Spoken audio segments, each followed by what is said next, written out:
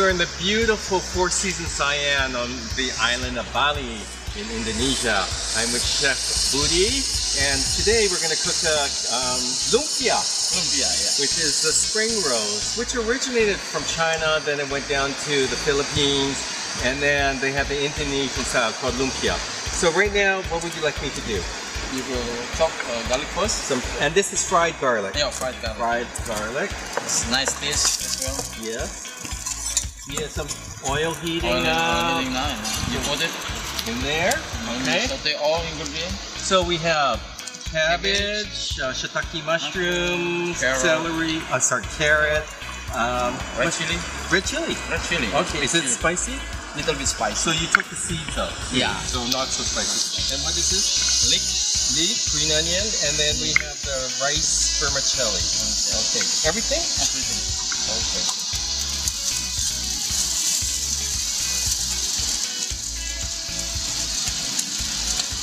Even the vermicelli? Little later. Later, okay. So we have all the vegetables first. Then we're going to saute. Look how colorful that is. Beautiful. You add some sesame oil. What type of oil? Sesame oil. Sesame oil. Now?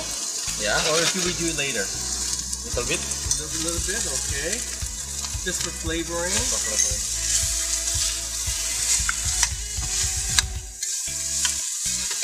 After that, oyster. Oyster sauce. Yeah, oyster okay. sauce. Now? Now, Okay, one. one. Okay. One first.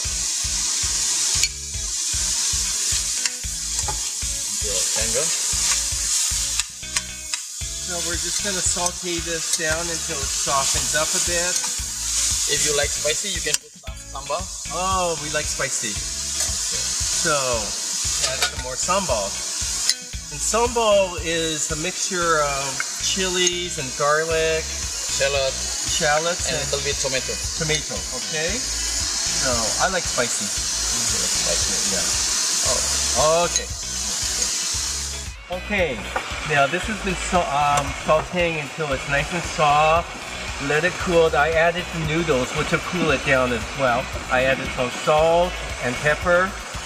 And now we have the spring roll wrappers. And um, this particular one is called Spring Home, and it's available in the frozen section of the Asian markets back at home here.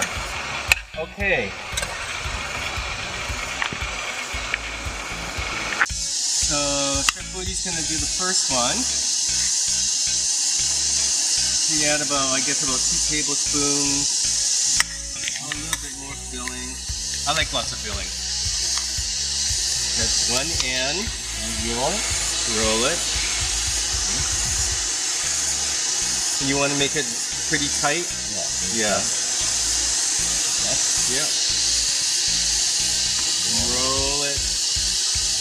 And then a little bit of egg white at the end. Mixed. That's it.